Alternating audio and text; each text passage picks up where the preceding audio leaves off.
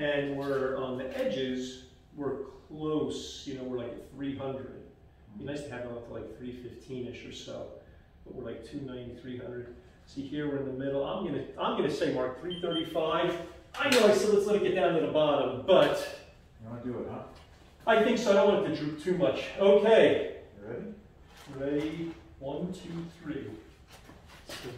Against the wall? Yep, down we go. Now is when it gets difficult.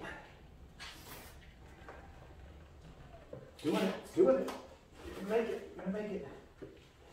Oh, baby. Oh, nice.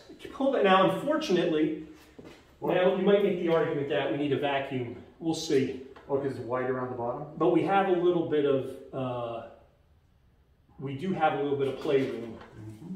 So I think that might be it, Mark. I got a couple little marks. I could see a couple little fleck marks, but part of it will be painted. See, now, I don't